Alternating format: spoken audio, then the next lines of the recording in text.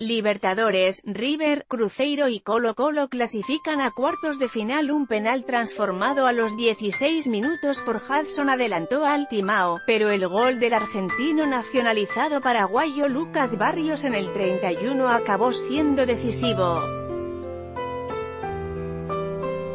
AFPNLSON Almeida Seron Facebook Seron Twitter Seron G Seron LinkedIn Seron Email Seron Pinterest Seron Tumblr Seron WhatsApp Seron SMS Seron Facebook Seron Twitter Ser email Seron WhatsApp Montevideo, Uruguay, AFP River Plate ganó el duelo fratricida con Racing, Cruzeiro hizo lo propio con Flamengo, y Colo Colo se sacó una pesada losa de 21 años de encima ante Corinthians para clasificar también a los cuartos de final de la Copa Libertadores este miércoles. En el Estadio Monumental de Buenos Aires, River demostró ser mejor representante argentino que Racing, al que derrotó por 3 a 0 en la vuelta de los octavos de final, decantando la eliminatoria tras el empate sin goles de la ida. Flamengo sí logró vencer al también brasileño Cruzeiro a domicilio por 1 a 0, pero la «Raposa» terminó sacando provecho al 2 a 0 logrado en el Maracaná.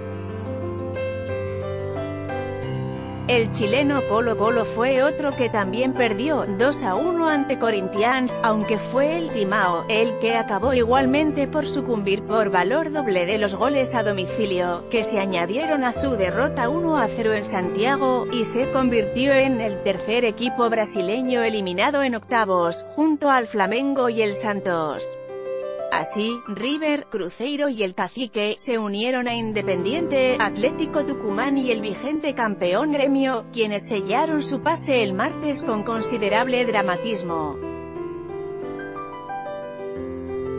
Victoria monumental River borró de la cancha a Racing, que apenas inquietó el arco, millonario, y cometió errores garrafales como el que originó el segundo gol local, tras pésima entrega de balón al biceleste y contragolpe letal, finalizado por Ezequiel Palacios a los 27 minutos. Por entonces, el brasileño Lucas Prato había puesto fin a su sequía goleadora particular, también con el primer tanto para River en cinco partidos. El oso, puso el punto final a una excelente jugada colectiva con la diestra a los 10. Poco mejoró Racing en el segundo tiempo, que registró el tercer tanto del colombiano Santos Borré a los 80, además de un conato de pelea entre el racinguista Ricardo Centurión y el local Encho Pérez que resultó en la expulsión de ambos. El albiceleste Alexis Soto también vio la tarjeta roja a la conclusión del partido, que acabó con celebración millonaria y la vista puesta en un nuevo rival argentino en cuartos. Independiente, que el martes superó una polémica eliminatoria que acabó en disturbios y bombas lanzadas por la hinchada del Santos, enfrentará en la próxima ronda a River. Los brasileños protestaron por la sanción que horas antes le había dado por perdido el partido de ida, 3 a 0, que acabó sin goles e alineación irregular del uruguayo Carlos Sánchez por parte del pase. Ante la falta de seguridad en la vuelta en Sao Paulo, el juez chileno Julio Vascuña suspendió el partido al minuto 81, con el marcador igualmente 0 a 0. Volvió el cacique, un días después, fue el vecino Corinthians el que se despidió junto al Santos, pese a ganar a Colo Colo.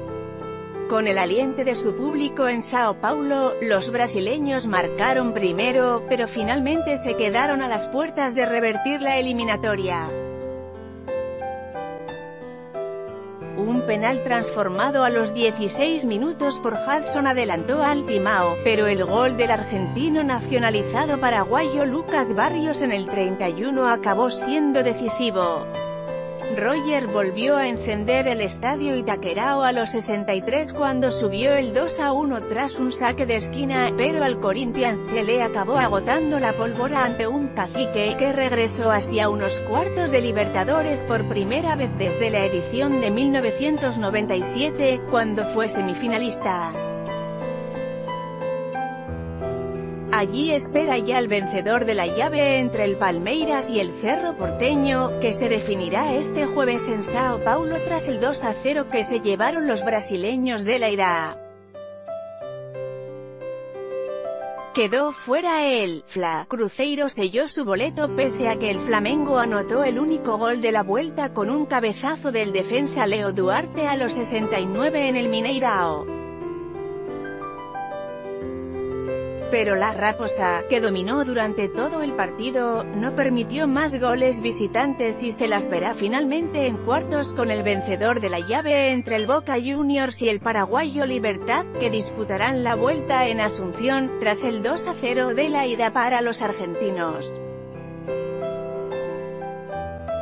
Partidos de vuelta de los octavos de final de la Copa Libertadores de América 2018, entre paréntesis los resultados que se registraron en los partidos de ida y en mayúsculas los clasificados a los cuartos de final, martes en Sao Paulo, Santos, BRA, Independiente, ARG, 0 a 0 suspendido al minuto 81 por incidentes en las tribunas, 0 a 3 asterisco, en Medellín, Atlético Nacional, COLI, Atlético Tucumán, ARG 1 a 0, 0 a 2 en Porto Alegre, Gremio BRA Estudiantes ARG 2 a 1, 1 a 2 Gremio ganó en definición por penales 5 a 3 miércoles en Buenos Aires, River Plate ARG Racing Club ARG 3 a 0, 0 a 0 en Belo Horizonte, Cruzeiro, BRA Flamengo, BRA 0 a 1.